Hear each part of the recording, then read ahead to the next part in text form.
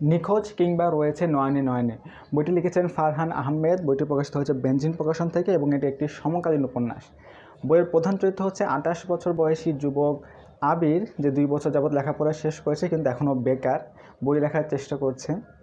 তার বাবাও চাকরি থেকে অবসর গ্রহণ করেছেন এবং তিনি ছেলেকে ওয়ার্নিং দিচ্ছেন, যদি তুমি এখন নিজের ব্যবস্থা নিজে না করো, তোমার খরচপাতি আমি আর দিব না। তারপর আবিরের কোনো ভূক্ষেপ নেই।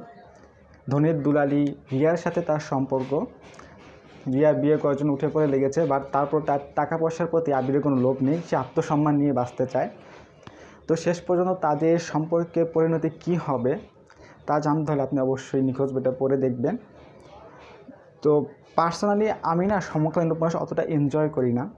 তারপরে আবার হচ্ছে আমার এখন পরীক্ষার সময় সেমিস্টার ফাইনাল অ্যাসাইনমেন্ট প্রেজেন্টেশনের ঝামেলা। তো আমি এই টাইমটাতে বইটা বেছে নিয়েছিলাম, ভেবেছিলাম বইটা হয়তো আমি পাঁচ, ছয় দিন ধরে পড়ব, আস্তে আস্তে পড়ব। তাহলে আমি একাডেমিক পড়াকে ফোকাস করতে পারব। বাট বইটা যখন আমি শুরু করি, আমি এক বছর শেষ করছি, কারণ বইটা হাতে রাখতে ইচ্ছা করছিল না। তো আমি এই ধরনের লেখা পছন্দ করি না, সবারই কিছু ফেভারিট জনরা থাকে।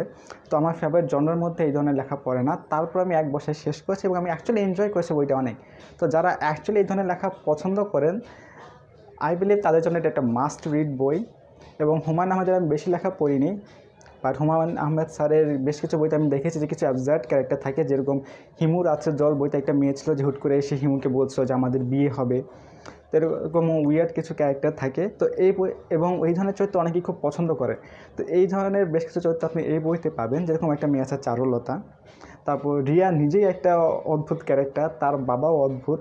তো যাদের এই ধরনের লেখা ভালো লাগে আমি মনে করি তাদের জন্য এটা মাস্ট রিড বই এবং ছেলেদের যে মাত্র সতেরো বছর বয়সী, এটা তার লেখা পড়ে বোঝার কোনো উপায় নাই। তো এই ধরনের লেখককে আসলে অ্যাপ্রিসিয়েট করা উচিত, তাদেরকে নার্চার করা উচিত, তাদেরকে এনকারেজ করা উচিত। তো অবশ্যই বইটা কিনবেন, পড়ে দেখবেন, তাহলে লেখক আরও উৎসাহিত হবে, তার থেকে আমরা আরও ভালো ভালো লেখা পাবো। এবং যেহেতু বেঞ্জিন বয়স একটা নতুন প্রকাশনী তো বইয়ের কোয়ালিটি প্রোডাকশন কোয়ালিটি একটু কথা বলি। বইটা হচ্ছে প্রায় একশো বিশ পেজের বই এবং আমি বোধহয় দু একটা জায়গায় আঁকার একা একটু বোধহয় ভুল দেখেছি আমি নট শিওর তো এরকম একটা একশো বিশ পেজের একটা বইয়ে বানান ভুল থাকবে না, এটা কিন্তু এখন একটা রেয়ার ঘটনা ঘটে গেছে আমাদের দেশে, কারণ প্রচুর বানান ভুল থাকে বইগুলোতে।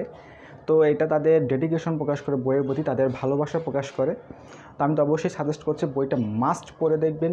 বইটার মূল্য খুব বেশি না, তো বইয়ের অনলাইন পরিবেশক হচ্ছে পড়ুয়া bookshop so don't wait just go and buy the book.